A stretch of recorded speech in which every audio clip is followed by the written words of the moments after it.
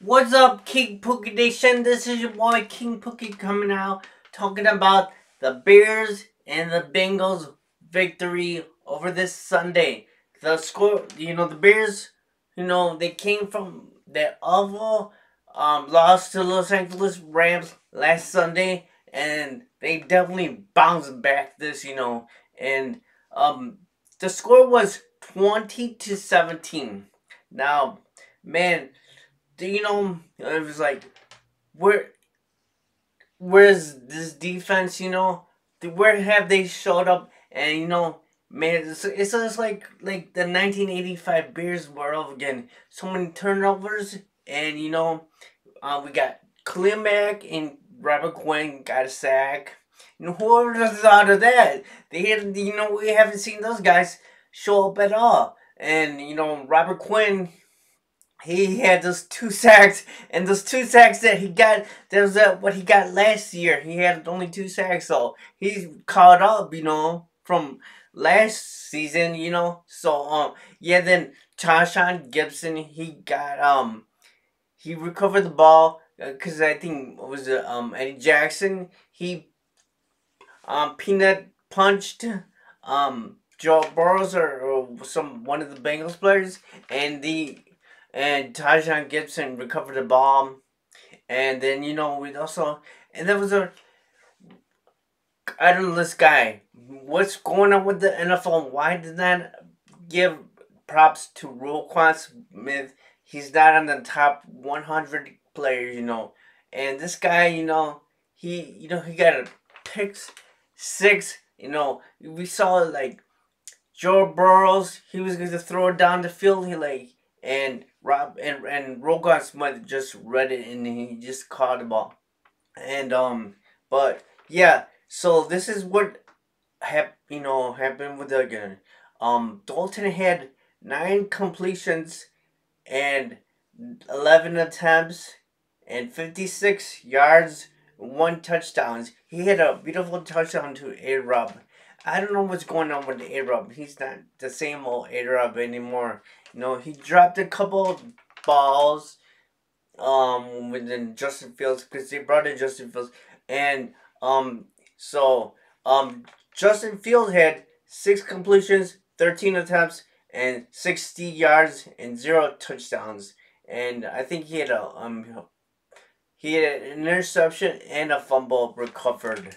So, but yeah, the thing is that Andy Dalton, you know, he was running um to the sideline and he tweaked his leg and um like so we saw him like limping, you know, and um I guess he played couple plays and the and Band-Aid decided to pull um to pull him out of the game and you know so Justin Fields he played the whole game and um but um yeah the, Montgomery he had 20 carries 61 yards an average of 3.1 and he had no touchdowns, you know. I mean, the Bengals, they, you know, they stopped David Montgomery, you know. They did, you know, they did their job last weekend where they stopped, Del, I mean, Dalvin Cook. So, I mean, I mean, I mean, they stopped David Montgomery, and, you know, he didn't get any touchdowns, but he didn't run over like he did in the Rams game. But, um, so then, um, you know, Mooney, he had, um, it was six receivings, 66 yards, and no touchdowns. A Rob had two, re- two receivings, 24 yards, one touchdown, and that was one the only touchdown that Andy Dalton had in the game. You know where he threw the ball and um and A Rob, but you know, um, but man, what the the Bears have to do. They have to clean up those boneheaded plays. You know, they got penalized a couple times. You know, you know, Fedi he got penalized, and, and I mean I don't understand this with the NFL. You know, they're making all these rule changes, and I'm not. You know, with taunting. Know, you're not. I mean, Eddie Jackson. You know not to do that. You know that. You cause we saw you clapping because you tackle that guy and you made the play and you would. And that's why we got unnecessary sports and conduct, and that's what because because of taunting. You gotta fix that, you know, man. But Eddie, I mean Eddie Jackson, he you know he with that punch, you know, peanut punch. Um, he redeemed himself, man. But yeah, but Eddie Jackson still needs to to um do way better. And he's like, you you know you know better not to do those boneheaded plays. You know, taunting plays. You know that's what I don't like about the NFL. They're making all these rule changes. You know, just like in baseball. You know, um, they made all these rule changes. It's ruining the game. You know, and a lot of people are not watching baseball because of these rule changes. And it seems like they bring it into the to the NFL with a taunting issue, which is ridiculous, you know. So um, but uh, yeah. So Justin Fields, he made some play, rookie mistakes, but um, he did forced fumble. Um, but the good thing is that he did, he recovered the ball. You know, he never left his eyes off the ball, you know. You know, so then he thank God for him that he we recovered the ball because the um, Bengals would have got the ball back. But um then um he also made a dumb other dumb play where he did throw an interception, you know, and um he threw it directly to the guy to the guy to Brent and um but you know our defense really stopped their um receivers. You know, Ja'Marr Chase he had a but um see at the very end of, I think it was like in the fourth quarter the um Bengals started coming back after that interception from when you know Justin Fields they started coming back and you know um so um Justin you know Justin Fields recovered himself you know and like so he got us to win, you know. But um, yeah, I don't understand those. Why the Bears fans are giving flag to Justin Fields and saying that he's not ready, that we sh- that he's gonna be a bust. I mean, come on, seriously, this is only one game. He's a rookie, and you know, and now you're saying that he's gonna be a bust. I mean, come on, um, it's not end up maybe call him a bust, but then of the year if he doesn't turn out to be a superstar, you know.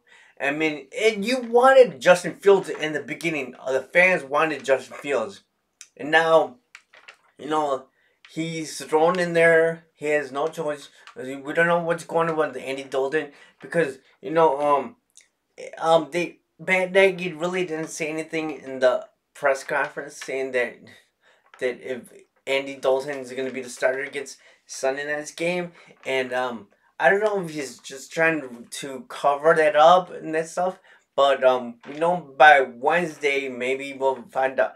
And you know, I hope to God they give more reps for Justin Fields and practice. You know, Justin Fields because you know A Rob and Darnell Mooney they made they missed a couple of those catches that were catchable and that one ball thrown to A was right in the bread basket and he missed it and he could you know he's but um yeah. So like I said I mean that um pick six by Roquan Smith was so beautiful man. Man he is he's shown proven it to the NFL that he was should have been on the hundred list you know. And um they they they better you know they better think next time, you know, um, because Roquan Smith, he is the, the the other team has to be worried about him because you know. So yeah, they're gonna be playing next week against the Cleveland Browns, which is gonna be a hard team to play against, and they got probably they got a good defense and they got a good offense and, and you know and um Baker Mayfielder, Mayfield, and then we gotta and we gotta watch out for um um that other guy. I forgot his name. Derek. I don't know his name. Forgot what the. So we gotta look out for him. But yeah, so we gotta clean up our act. I mean the defensive they really they stand up in this game. And last weekend it was the offensive. Now this week was the defense. You know, so it's like, yeah, why cannot both of them click at the same time? You know, we need that, and we need you know Sean Desai. He really turned around. He got his guy is ready now, and I would like to see that more. You know, um, because you know he redeemed himself from that Rams game, but now he has to do that in the Cleveland game because the Cleveland game is gonna be uh, even more harder because you're gonna be playing away in another against the Cleveland Browns. So um, but um, and then you know Matt Nagy's the same old Matt Nagy. Um, man, if it was the defense that really won us the game, you know. So um, but yeah, so if you're a true Bears fan, subscribe to my channel, give me a huge thumbs up, and join the King Pookie Nation Army. This is your boy King Pookie, and I'll see you guys in the next video. Alright, peace.